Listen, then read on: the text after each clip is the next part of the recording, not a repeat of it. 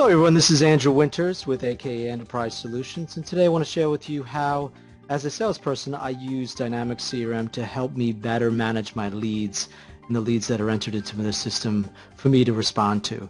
So right now I'm in the system, in my Dynamics CRM system using the web browser. You can look along the top of the HTTPS, uh, Oslo CRM. I can also be in my CRM system via Outlook.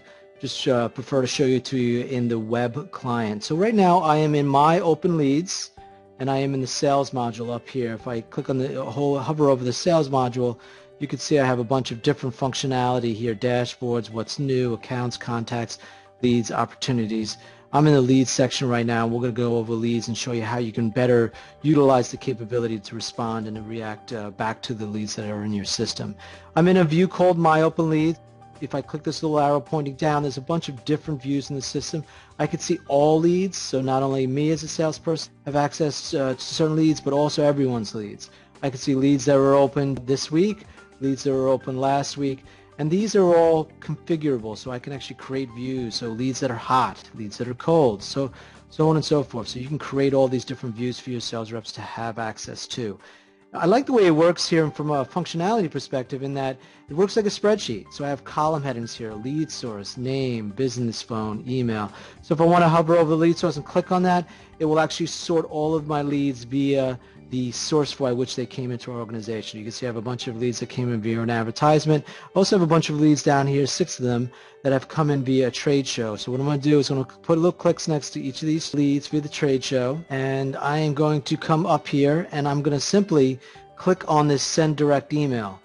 And because leads from a trade show typically maybe are a little lower value than someone who might have downloaded a white page from your website, my marketing team has loaded up a, an email template for me to utilize. So this is a lead reply trade show visit.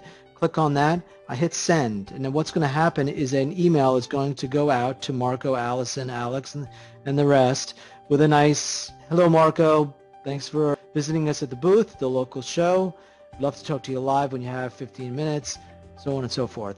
And it's just a nice way for marketing to provide value to the sales team in that they have to get engaged with all of these leads that they have captured at, a trade show. I'm sure they spent some money on attending. Once I've uh, done that, the, the, emails go out to this. I am on a first attempt into these leads. Let's drill into one lead in particular. This trade show lead on the bottom, Andrew Winters.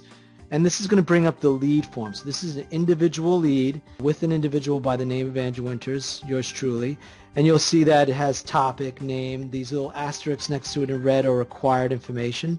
Uh, it also has this business phone. So if what I'm going to do primarily is I got this lead, it's a hot lead up here on the top in the rating system. I'm going to click on this. Now what I like about CRM, it's going to allow me to click the dial right there and it's going to let me bring up the lead record and it's going to pop this box right in the middle.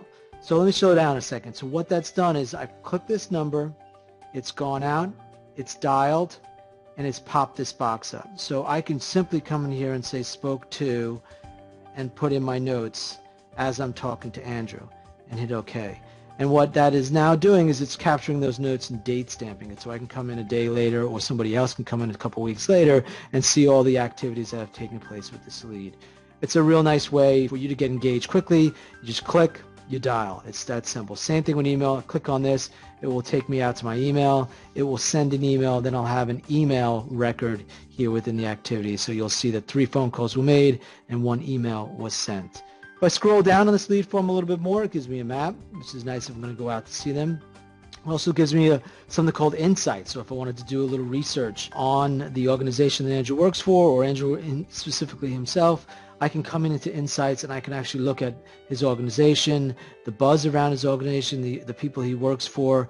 If I want to go into look into more about Andrew, I click over here and it gives me more about Andrew on and out in the social world. So it captures information from LinkedIn, Reuters, Business Week, and puts it in this section here. So this is one form everything I need to know about this lead. Hope this was helpful. I find CRM very helpful and when I'm engaging leads. It helps me get a lot more done in a given day. Hope you'll find this tool as successful as I have found it. Have a great day.